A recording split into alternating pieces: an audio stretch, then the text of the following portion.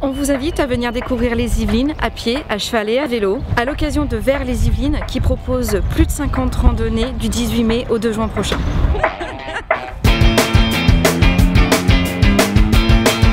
Il y a plus d'une cinquantaine de randonnées organisées à cette période-là, dont trois randonnées phares. Le 19 mai, une randonnée à vélo, le 26 mai, une randonnée à cheval et le 2 juin, une randonnée à pied. Tous les amoureux de la nature sont bien évidemment invités à venir découvrir notre superbe département.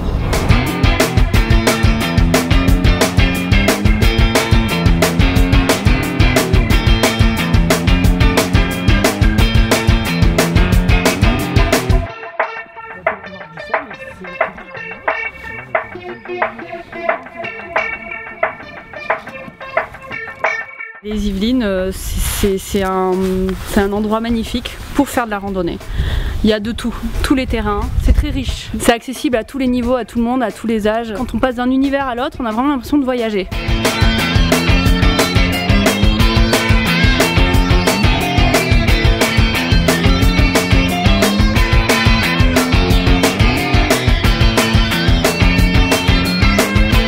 Fait de la randonnée pour découvrir euh, tout ce qui est paysage, la nature avec les animaux. Les Yvelines restent quand même un département où on peut euh, faire beaucoup de randonnées.